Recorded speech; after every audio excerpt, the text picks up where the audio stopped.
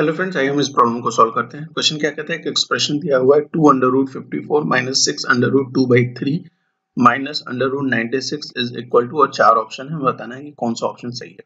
तो जो एक्सप्रेशन दिया है, वो हम यहाँ पे लिख लेते हैं two under root fifty four minus six under root two by three minus under root ninety six जैसा हम देख पा रहे हैं कि जो अंडर रूट में जो में जो वैल्यू है वो कोई परफेक्ट स्क्वायर नहीं है तो हम इसको सबसे पहले क्या करते हैं फैक्टर्स में ब्रेक कर लेते हैं।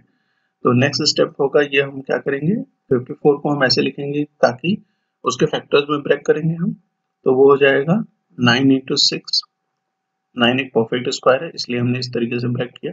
सिक्स को अंदर लेके आते हैं तो सिक्स इंटू सिक्स हो जाएगा by into two by three हो जाएगा। इसी तरीके से 96 को लिखेंगे तो क्या होगा 16 into six sixteen perfect square है।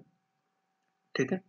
तो जो यहाँ पे आप देख पाएँगे कि थ्री से एक सिक्स कटेगा तो टू टाइम जाएगा। तो टू इंटू टू फोर आ जाएगा। फोर भी एक परफेक्ट स्क्वायर है, इसको भी हम बाहर ले सकते हैं। तो जो वैल्यू परफेक्ट स्क्वायर है, उनको हम बाहर ले लेते हैं। तो यहाँ पे क्या होगा?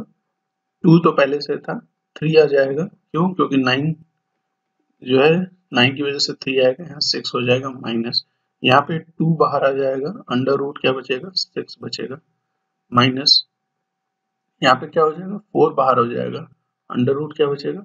सिक्स बचेगा। अब हम देख पा रहे हैं कि यहाँ पे क्या है? Six under root six, minus two under root six, minus four under root six, और हमें क्लियरली दिखाई दे रहा है कि ये सारे टर्म्स आपस में आपस में कैंसिल आउट हो जाते हैं, और जो हमें रिजल्टेंट मिलता है वो क्या मिलता है? ज़ीरो।